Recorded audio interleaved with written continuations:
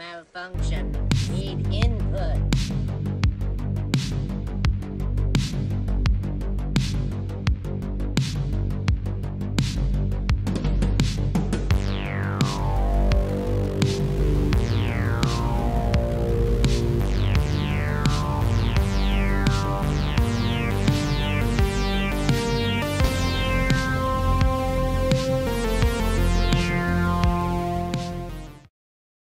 Hey, you guys, what is up? It is your boy Blaze here, coming at you once again from Need Input. So, check it out, everybody. Earlier this morning, I was on Facebook Messenger talking to my good buddy over in the UK, Matthew Reed.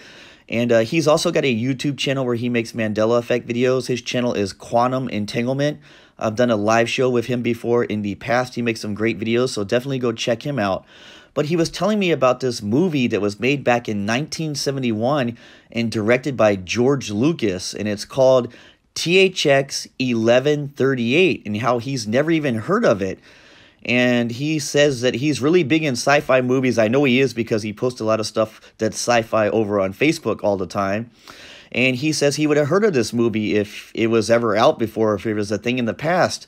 And I started looking into it. I was like, you know, this is kind of weird and kind of creepy.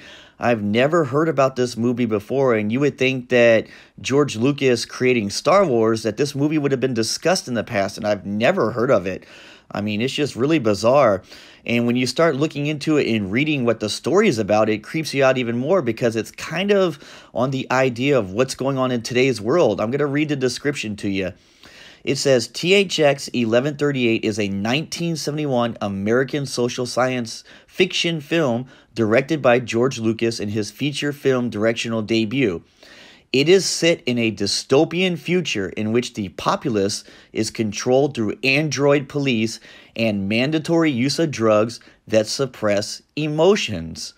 Kind of sounds familiar, doesn't it? It kind of sounds like uh, what's going on in today's world with the whole Rona situation. We're we're kind of in a police state where police have a lot of power over people, uh, forcing them to comply with all the Rona restrictions, and they're using AI cameras to do facial recognition and uh, scan our faces when entering stores and stuff like that in the disguise of thermal temperature scans. Uh, they are using drugs to suppress people's emotions through GMO foods chemtrails and also the PCR test and the VAXX. So this movie kind of sounds, you know, like basically what's going on in the world today, and all of a sudden it just popped up out of nowhere and exists now. Um, you guys let me know what you think about this in the comment section down below. Uh, you know, quantum entanglement, he asked me to make a video about this, so I'm doing it really fast uh, before I try to head out and go to work today with all this snow going on here. I don't know if I'm going to make it. But uh, let me know what you guys think in the comment section down below. And until next time, it's your boy Blaze here for Need Input saying remember, be kind, rewind your mind. Peace out, everybody, and God bless. All Earth Council, in its infinite wisdom, has decided these two numbers are to be disposed of. The Biochemical Forum has demands to make on their parts, however, before they are eliminated. That's the kind of efficiency that makes you proud to live in this era.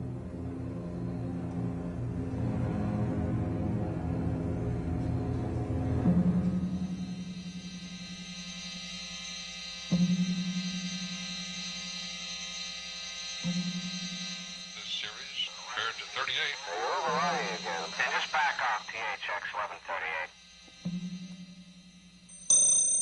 have asked, are we happy? Are we happy and effective? Consultation with leading experts in the field makes it perfectly clear, perfectly clear, that we are all now programmed for perfect happiness, perfect happiness, perfect happiness, perfect happiness. 1138, we're tracked. Are you all right? What did they do to you? There are, of course, occasional technical or electronic errors in programming and or surveillance which produce perverse exceptions. I'm going to have a child. First, they start skipping prescribed drug dosages. Then they begin touching, then indulging in various sexual acts. And the ultimate perversion, love, For such extreme psychobiological misfunction, only isolation will do.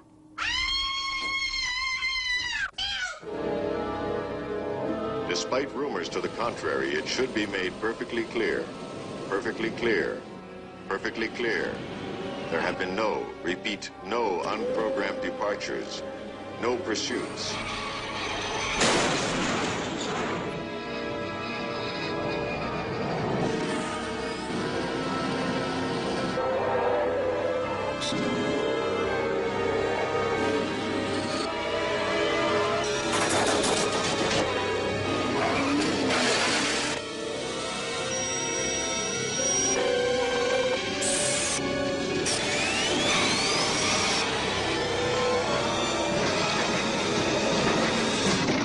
The Shell people will attack any persons venturing beyond prescribed areas.